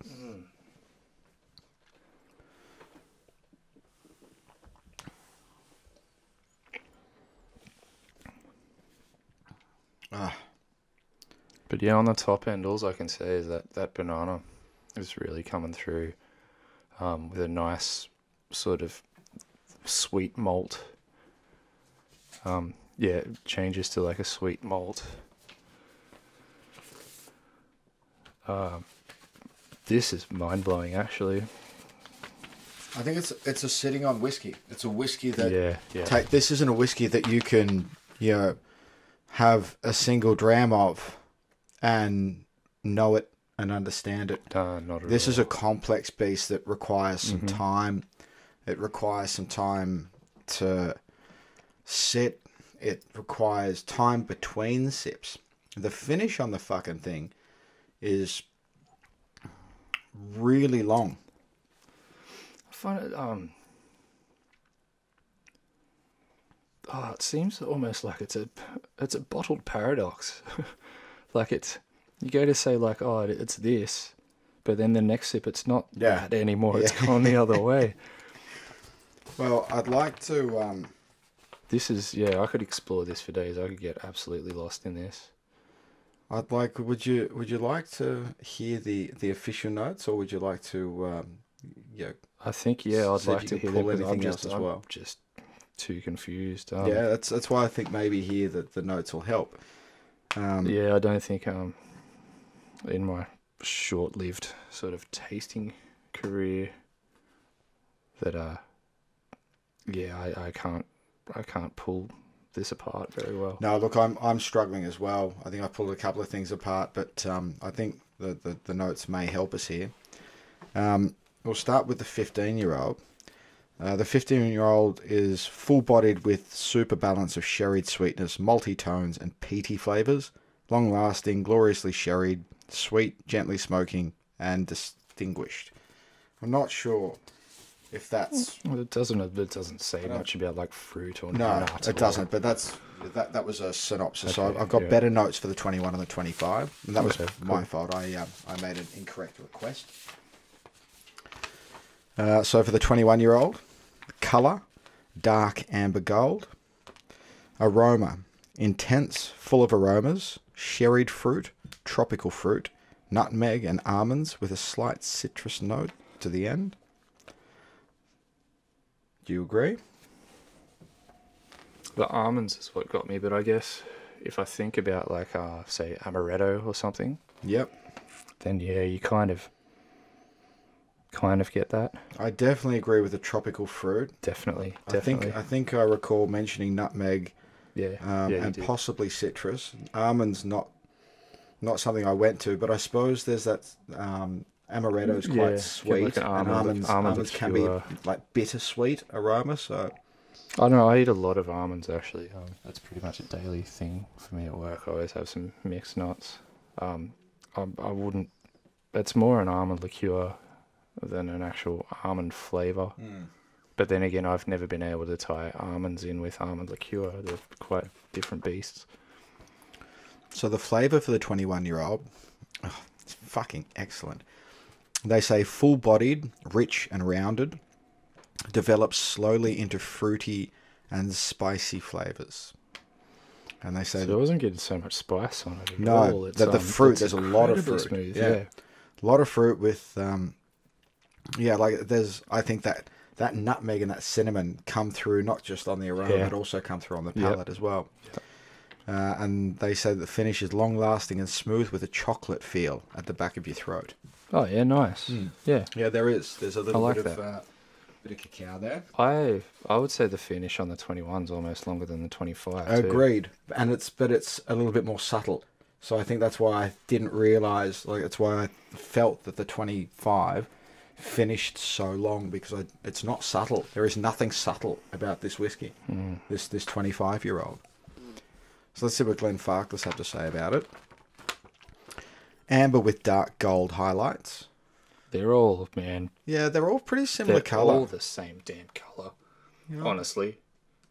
Yeah, I mean, look, you know, I mean, there, there has to be a certain amount of marketing The speak. I suppose you can't just say that they're all amber. The. 21 might be the deepest of them all. 21 and the 25 of, of the bottlings that we have anyway. Sorry, the tw- the 15 and the 21 are all 25. ugh. The 15 and the 25 are almost all uh, identical in color. Yep. Yeah, agreed. Uh, so they say on the aroma, complex yet refined, with with That's wicked. tempting, That's like a such an art critic thing to say. complex but refined. Yeah. Yeah. Uh, brutal yet destructive. oh no, subtle. subtle. So complex destructive. yet refined, with tempting aromas of marmalade, honey, freshly ground coffee, sherry, and nuts with some oaky tannins. Good God, they're okay. They've been doing it for a lot longer than I have. They either have, like, either and- that or they're a lot older than Oh, I am. exactly, and you know they're. Probably both. Coffee? No, no, no. I'm not getting no. freshly ground coffee. No. Maybe, maybe green coffee, like as in unroasted. Yeah, there's definitely some tannins in there and Hmm. a nutty kind of. I couldn't tell you what nuts it was, but something legumy. You know, like that. There is a. Um, yeah, it's it's it's not a spice. Marmalade, you say? Yeah. Yeah, okay. I can I can see you know. The, the, the, Yeah. the, the sweetness of my. I'm- I'm not a marmalade eater, but I recall my grandmother being a big fan of ginger marmalade and having that on her Weet-Bix for breakfast. Hmm. There you go. Hmm. So for the flavour, they say it's full-bodied and robust. The sherry and the oak fight for your attention, yet neither overpowering. Yeah, yeah, I'll agree with that.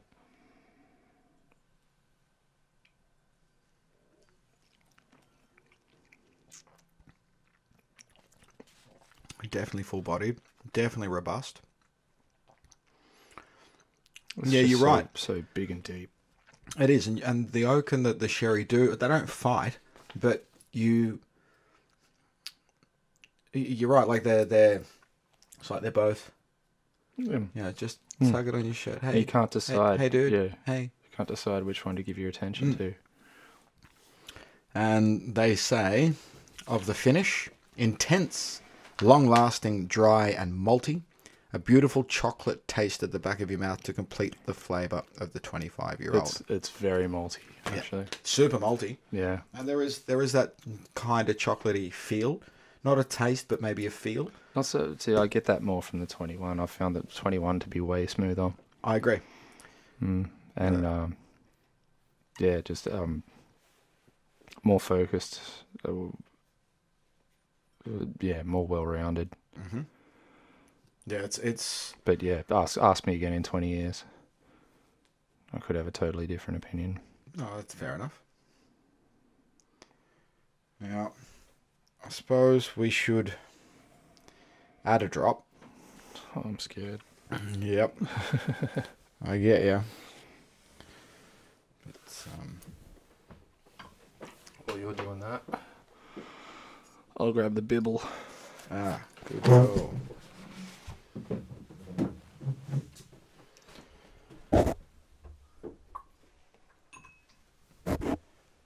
Now I was very restrained here. I added two drops for each, and for the very first time, I've actually managed to leave equal fucking amounts of whiskey in my glasses. Gasp. Not bad. Not bad. Who says we're not getting better at it?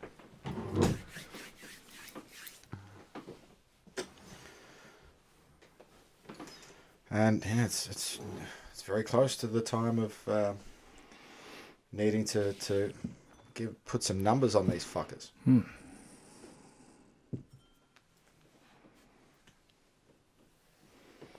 Oh wow. That 15 is a different beast on the nose with the water.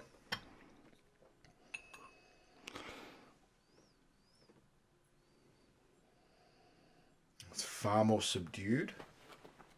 There's nowhere near that um, candy, you know, banana bubble gum. Oh, geez, didn't it squash that? Mm, it really did. It's now, you know, much. Uh, there's almost nothing on the nose to it now, just the malt and the wood. Little bit of fruit. Oh, that's that's benefited greatly. Oh yes, it has. Mm, that's subdued all that spice. Mm. And there's only the tiniest hint on the back of the throat of that now. Mm. Yeah, that's. Yeah, that's come a long way.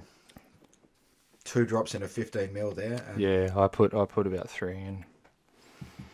All right, let's see what it's done to the 21. Mm, Yeah, once again, that aroma's been hampered by the Mhm. drop. Yet, I not like so it. much I squash, like it, just though. kind of just just brought back Yeah, yeah. half a just- level, you know. Yeah, the intensity is has lowered. But the balance is still there and the depth Mhm. is still there.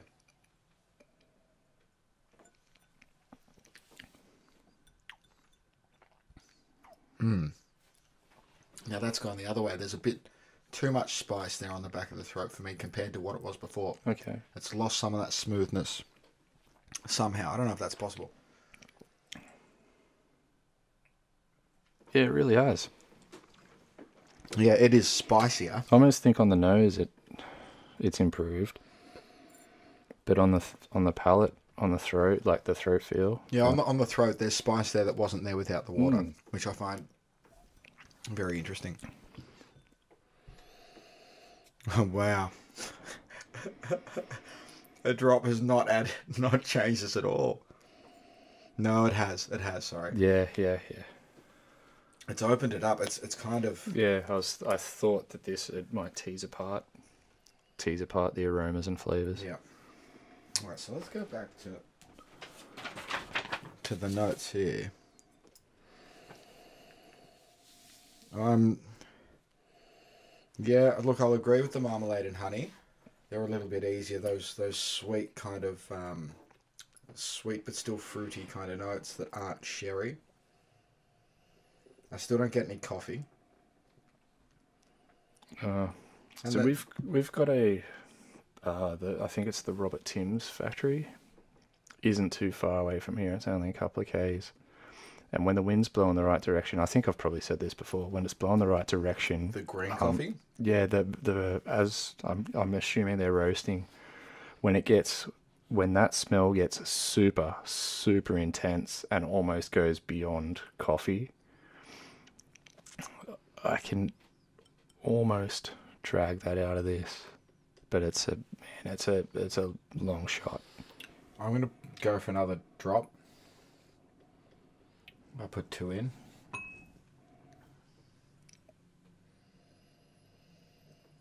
And now on the on the nose, that's opened up again.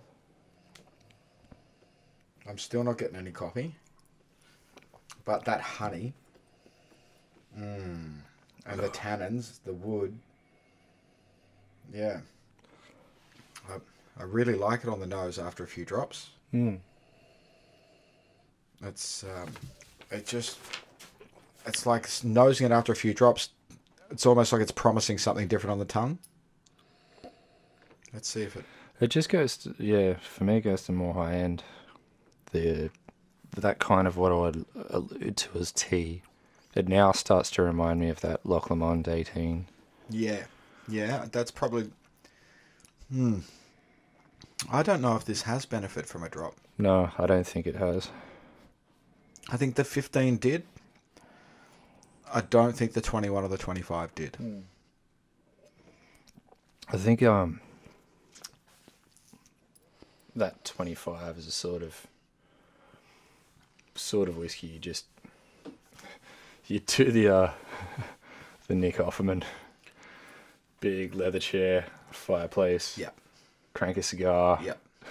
and Yeah, these sit are- there. you could just sit there for an hour Yep. On this on the one dram, on a 50, you know, 50 Yeah. 60 mil dram and you can tell several stories. oh I just, having that just dram. sit there in silence Yeah. just staring at the camera with a yeah that sort of semblance of a shit eating grin because you're getting paid to do it oh, I love Nick off Yeah. What a man. yeah Well, yeah that's that was that came from a place of, of pure envy yeah, and that's fair. that is fair.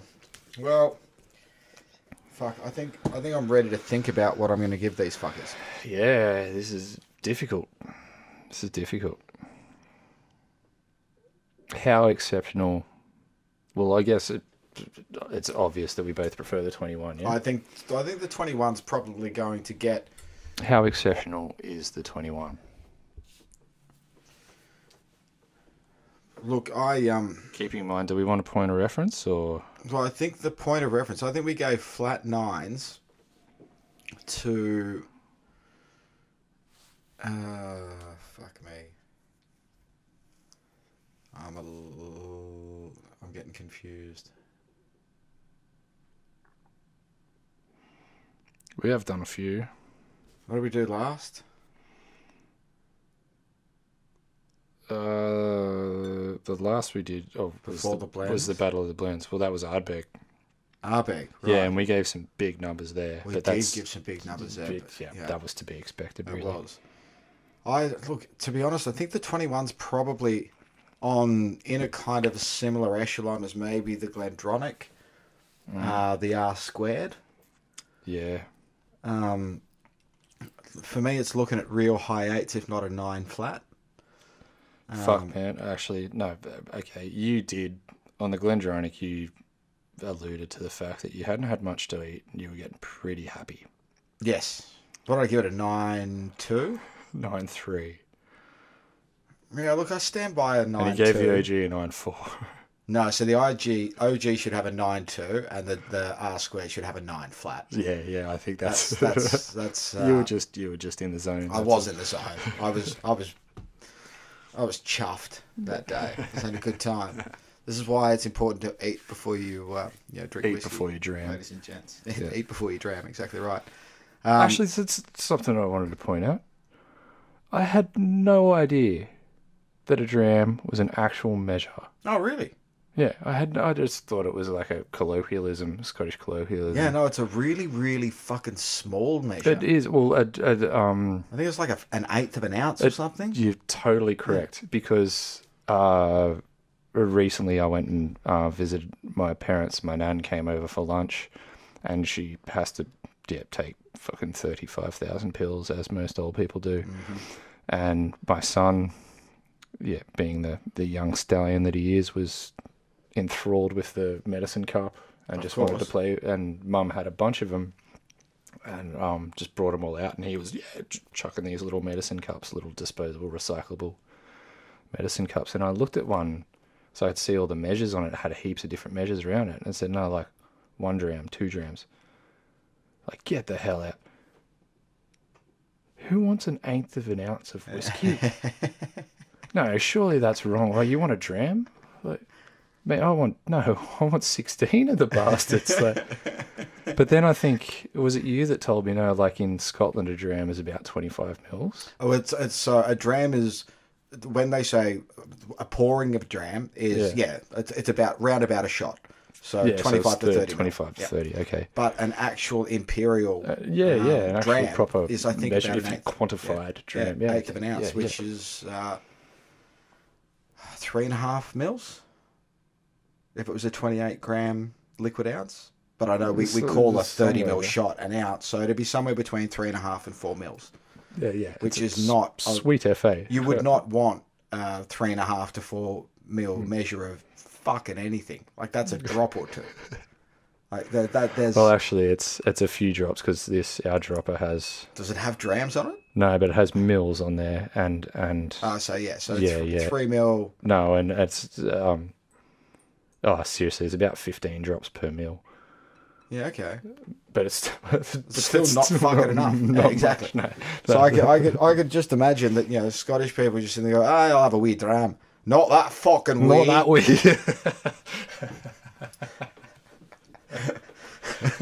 What's that, a dram shortage or something? you want to be a bit more generous there, Boyle. Uh, so I reckon that the 21 is going to get my top mark, and Yeah. the 25 and the 15 are going to probably get silver and bronze. Um, I'm not sure what my numbers are In, yet. in that order, yeah. So I'm wondering, yeah, I think I've been. There are other drams that I've enjoyed more than the 21.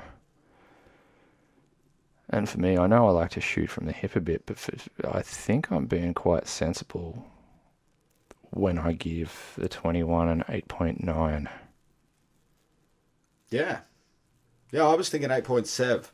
Okay. 8.7, 8.8, because I think it's comparable to the OG, which should have, sorry, not the OG, the R squared, Mm-hmm. which should be a flat 9.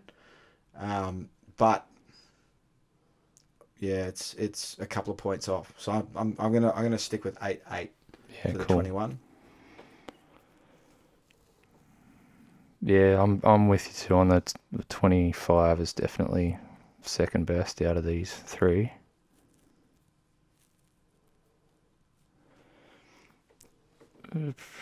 Eight four, Nailed it. It's exactly Yeah. what I was giving it to. Yeah. and the 15's eight flat, maybe eight one. I'm going to give it an 8 1 because I think it's better than an 8 flat, and I don't think there's as much of a gap between the 15 and the 25 as you would expect there to be. Hmm. Um, but yeah, I'm I'm very much in line with that. I think uh, I think 8 4 is perfect for the 25. That was the very first thing I thought of. Um, I think we're online in that, and yeah, I'm gonna I'll give you the 15 and 8 1.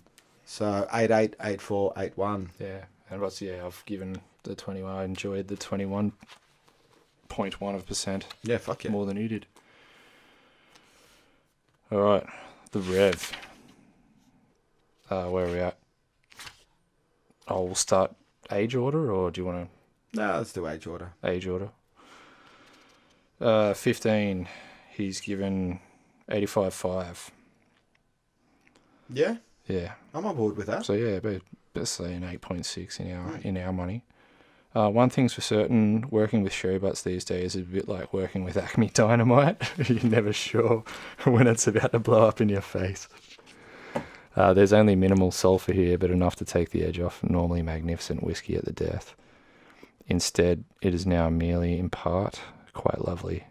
The talent at Glenfarclas is unquestionably among the highest in the industry. Yeah, I'll totally agree with that. Yeah, I agree too. I'll be surprised to see the same weakness with the next bottling. Up to 21.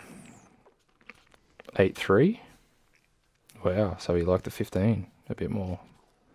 Interesting. A chorus of sweet, honeyed malt and mildly spiced, teasing fruit on the fabulous mouth arrival, and middle compensates for the few blips. Yep. Okay, I didn't. I mean, he's he's always harsh. He's pretty harsh, man. Like you know, I I try and be the harsh one, but I got nothing on the fucking on the rev. The rev's got something against sherry. I didn't think and he's was, got something against sulfur too. I didn't think there was too many blips on the 21, man. That was incredibly well balanced, really well rounded. Yeah, agree. But there's a reason we didn't give it a nine. Yeah. Yeah. Uh, yeah. So that would be the blips. Uh, the 25, he's given an 8 4. A curious old bat. That's exactly what we fucking gave it. By no means free from imperf- imperfect sherry, but compensating with some staggering age, seemingly way beyond the 25 year statement. Enjoys the deportment of a doddering old classic master from a family of good means and breeding. oh, I like that metaphor. Hmm. Yeah, I like that curious old bat. It Yeah. really, really is. I could, yeah, sip that with a massive cigar Oh, you could for days. and and and it would change Oh yeah, and I'd time. never, and I don't think I'd ever sort of shoot straight by the end of it. I No. it's it's It is. It's, it's all over the place in a very, very good way. Yeah. Oh yeah. I don't think it's none of these are anything except great whiskies. Mm-hmm. Yeah, these guys clearly have got their shit together. Their family legacy is They- totally in order. You know, they they use traditional methods. They use a fucking direct fired still. They got the biggest fucking mash tun in the industry. They've been doing this for six generations. Yeah. They're cluey enough to have gotten themselves out of trouble more than once. Mm-hmm. I mean, fuck, not a lot of people fucking still out a distillery after having a fucking contract with the Pattison brothers. You know, not a lot of people were able to. I mean, most distilleries, if they lost their biggest contract in Diageo for their blends, wouldn't have the wherewithal or the smarts No, to start laying down their own Hugely stock. demoralizing. They'd just go and fucking try and find another contract. You know, short term thinking. Whereas, you know, I've got a lot of respect for the way that these guys Yeah. have gone about the way they make their whiskey. I think their history is, you know, rich. I think it's clever. I like the way that they've found their niche spot. Well, you know, that they've decided that this is what they do well with the sherry. They've got good agreements with the bodegas that they use in, in Spain. Um, and they're, they're doing a really consistent you know, product. And What a fucking core range from eight year old to Mm-hmm. No, fucking 40 That's- year old. Got to be the most expensive in the business, basically. Yeah, that's fuck. You know, these guys get an absolute, you know, tick in the box for me, and and Yeah. I've really enjoyed exploring their whiskey. Yeah, same here. They should keep on doing what they're doing because they're doing it really well. So again, a shout out to uh, Matt Redden for um, you know getting in. Uh, Getting a bunch of information to us when requested, and um, and for some insight. Uh, big shout out to Birdie for facilitating that as well, and uh, you know it's it's really been a, a really pleasant Mm. um, you know experience to, to sample these really well aged complex whiskies. The only one thing that I rabbit holed on, I was really curious to know what the um, the most. I'll just I'll throw eloquence out the door. The most family generations that have gone into a business. Yeah, cool. Have a stab. What do you reckon? Whoa, okay, cool. I know that Uh, they say that most family businesses, usually the third generation, is the one that squanders it Yeah, because they're the one least likely. because they were born into it. They're the least likely to give a shit. I- I'm gonna have a, I guess, a stab and say twelve. What if I told you it was a Japanese business? Oh Jesus. Fifty-two. That's not too bad. That's not too bad at all. Hoshi Ryokan, the oldest family business in the world. a hotel which is owned and run has been owned and run by the same family since the year 718. They are currently at their 46th generation. Oh, I wasn't that far off. No, you did it right. They're not breeding fast enough. Was it on the have kids younger. Was it on the Ferriss podcast when he tried to learn that horseback archery and the guy had the jacket that said like yeah they've like since 1389 or something and he's just like wow that's now that's a legacy. It's unfathomable, especially coming from a country that's not even 250 years old. Oh, exactly. You know, fuck. We haven't even had a tricentenary. Yeah, I've I've drunk in pubs that like twice as old as this country. Yeah. Yeah, exactly. Crazy, isn't it? I think that's about that's about it. I reckon we're done, buddy. Mhm. So yeah, once more from the uh, the spirit of independence, Fucking as they A. like to say at Glenfarclas. Sláinte, my friends. Slancha.